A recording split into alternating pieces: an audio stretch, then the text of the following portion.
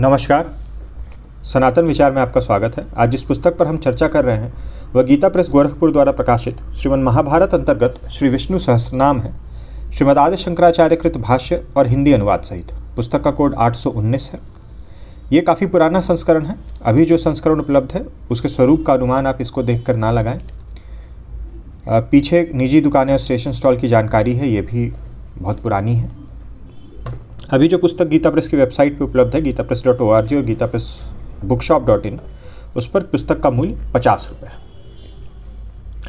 अनुवादक में नाम लिखा है भोला। इनके पूरे नाम का परिचय अंदर निवेदन प्रार्थना में दिया गया है।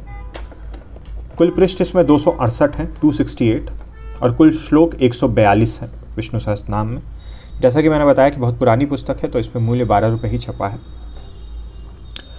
प्रार्थना, महाभारत में भगवान के अनन्य भक्त पितामह भीष्म द्वारा भगवान के जिन परम पवित्र सहस्त्र नामों का उपदेश किया गया, उसी को श्री विष्णु सहस्त्र नाम कहते हैं। भगवान के नामों की महिमा अनंत है। हीरा लाल पन्ना सभी बहुमूल्य रत्न है, पर यदि वे किसी निपुण जड़िए के द्वारा सम्राट के किरीट में यथास्थान जड़ दिए जाएँ तो उनकी शोभा बहुत बढ़ जाती है, और अलग अलग एक एक दाने की अपेक्षा उस जड़े हुए किरीट का मूल्य भी बहुत बढ़ जाता है। यद्यपि भगवान के नाम के साथ किसी उदाहरण की क्षमता नहीं हो सकती, तथापि समझने के लिए उस उदाहरण के अनुसार भगवान के एक सहस्त्र नामों को शास्त्र की रीति से यथास्थान आगे पीछे जो जहाँ आना चाहिए था, वहीं जड़कर भीष्म सदृश निपुण जड़िए ने एक परम सुंदर, परम आनंदप्रद, अमूल्य वस्तु तैयार कर दी है। एक बात समझ रखनी चाहिए कि जितने भी ऐसे प्राचीन नाम संग्रह कवच या स्तवन हैं, वे कवि की तुकबंदी नहीं है। सुगमता और सुंदरता के लिए आगे पीछे जहाँ तहां शब्द नहीं जोड़ दिए गए हैं। परंतु इस जगत और अंतर जगत का रहस्य जानने वाले भक्ति, ज्ञान, योग और तंत्र के साधन में सिद्ध अनुभवी पुरुषों द्वारा बड़ी निपुणता और कुशलता के साथ ऐसे जड़े गए हैं कि जिससे वे विशेष शक्तिशाली मंत्र बन गए हैं और जिनके साथ री यथा रीति पठन से इलौकिक और पारलौकिक कामना सिद्धि के साथ ही यथाधिकार भगवान की अनन्य भक्ति या सायुज्य मुक्ति तक का प्राप्त मुक्ति तक की प्राप्ति का सुगम प्राप्ति सुगमता से हो सकती है। इसलिए इनके पाठ का इतना महात्मा है और इसलिए सर्वशास्त्र निष्णात परम योगी और परम ज्ञानी सिद्ध महापुरुष प्रातः स्मरणीय आचार्य श्री आदि शंकराचार्य महाराज ने लोक कल्याणार्थ इस विष्णु सहस नाम का भाष्य किया है। आचार्य का यह भाष्य ज्ञानी और भक्तों दोनों के लिए ही परम आदर की वस्तु है। पूज्यपाद स्वामी जी श्री भूले बाबा जी ने भाष्य का हिंदी भाषांतर कर पाठकों पर बड़ा उपकार किया है। मेरी प्रार्थना है कि पाठक इसका अध्ययन और मनन करके विशेष लाभ उठावे। हनुमान प्रसाद पोद्दार, कल्याण संपादक। ये 1990 का लेख है। यहाँ से विष्णु सहस्रनाम प्रारंभ हो रहा है। कुल पृष्ठ जैसे मैंने बताया, दो है पुस्तक में, श्लोक 142 है।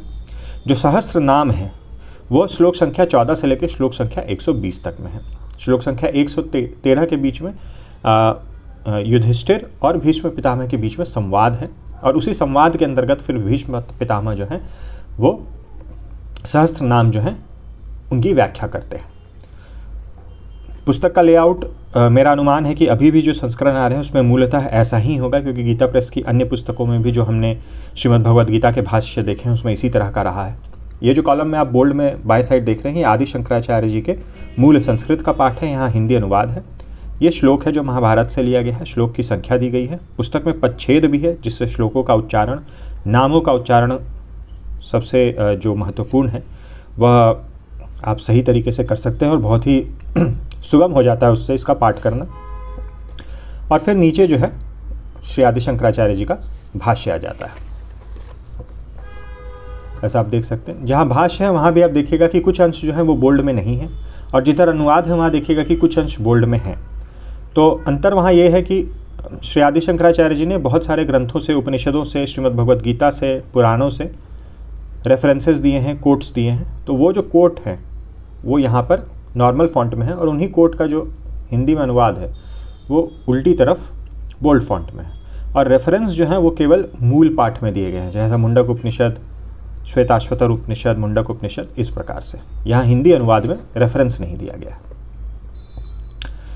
और श्लोक संख्या दस में, आदि शंकराचार्य ने जो व्याख्या की है, वो सबसे लंबी व्याख्या है इस पुस्तक में, किसी एक श्लोक की। और उसमें उन्होंने अपना अद्वैत सिद्धांत जो है, वह मत प्रकट किया है और विभिन्न ग्रंथों से कई सारे उन्होंने उसमें रेफरेंसेस डाले हैं। देखिए श्लोक संख्या दस है। पवित्राणाम पवित्रम यह मंगला नाम च मंगलम दैवतम दैवता नाम च भूता नाम यह अव्यय पिता। अब उन्होंने बहुत सारे यहाँ रेफरेंसेस दिखे, लगातार यहाँ रेफरेंसेस आ रहे हैं और एक तरह से अद्वैत मत जो है, वो अपना यहाँ पे स्थापित किया है।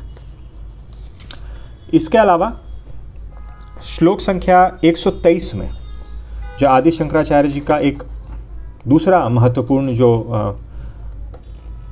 उनकी मान्यता है, वो है कि ज्ञान जो है वही मोक्ष का साधन है। तो उसको श्लोक संख्या 123 में स्थापित किया तो 10 और 123 यह दोनों ही जो सहस्त्र नाम हैं, उनके बाहर आते हैं।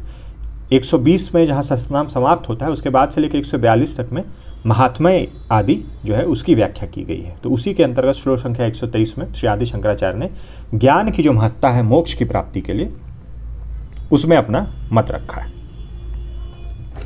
उसके अलावा यहाँ पुस्तक में एक दो जगह ऐसे हमें देखने को मिलता है, जहाँ ये पुस्तक चूँकि छपी हुई बहुत पहले की है।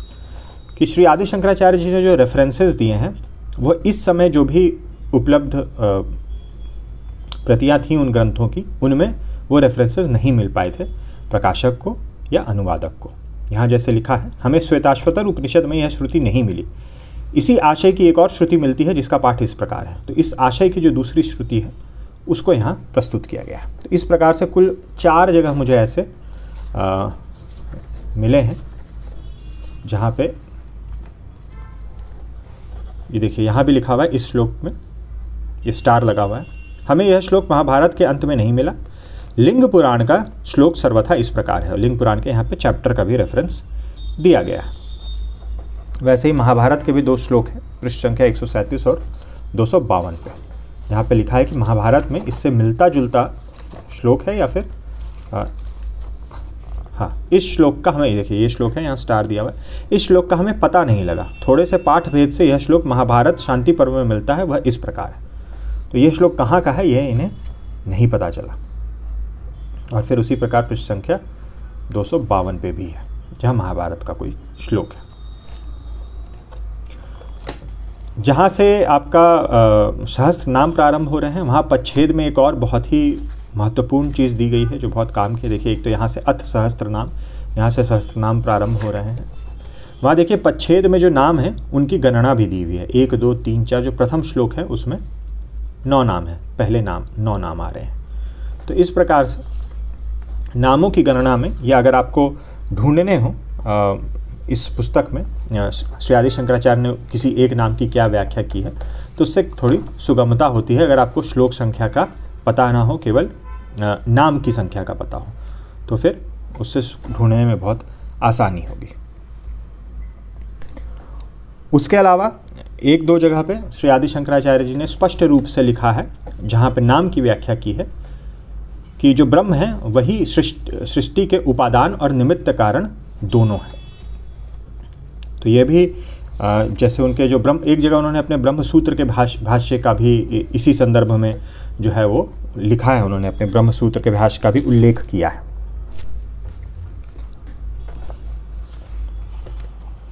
पुस्तक तो बहुत पुरानी है लेकिन इसमें भी प्रिंट का और फॉन्ट का कोई इशू नहीं है। अभी जो पुस्तक होगी उसमें आ, उसमें भी अवश्य ही गीता प्रेस की पुस्तक है तो किसी प्रकार की दिक्कत नहीं होनी चाहिए। और सहस्त्र नाम है लेकिन अगर हम यूनिक नामों की बात करें बिल्कुल अलग अलग नाम की तो विष्णु सहस्त्र नाम में आपको पता होगा कि हर नाम जो है वो यूनिक नहीं है। पचहत्तर नाम ऐसे हैं जो दो बार रिपीट हुए हैं। नौ नाम ऐसे हैं जो तीन बार आए हैं और दो नाम ऐसे हैं जो चार बार आए हैं। तो अगर केवल यूनिक नाम की बात करें तो वो 901 नाम है। लेकिन हर जगह जो नाम आए हैं, जो शब्द आया है, उसका हर व्याख्याकार ने, आदि शंकराचार्य ने भी अलग अलग कॉन्टेक्स्ट में, जिस श्लोक में, जिस जगह पे वो शब्द आ रहे हैं, उस हिसाब से उन्होंने उसका अलग अलग अर्थ निकाला है। जैसे श्रीमान है तो श्रीमान चार बार जो शब्द है वो आया है सहस्त्र नाम में। वैसे ही कपिल भी मैंने दो बार देखा। एक जगह पर तो स्पष्ट रूप से महर्षि कपिल सांख्याचार्य रूप से जो सांख्य दर्शन के प्रवर्तक हैं उन उनको रेफ़र किया है श्री आदि शंकराचार्य जी ने और दूसरे जगह उन्होंने आ, कुछ शायद रंग का, का संदर्भ लिया है।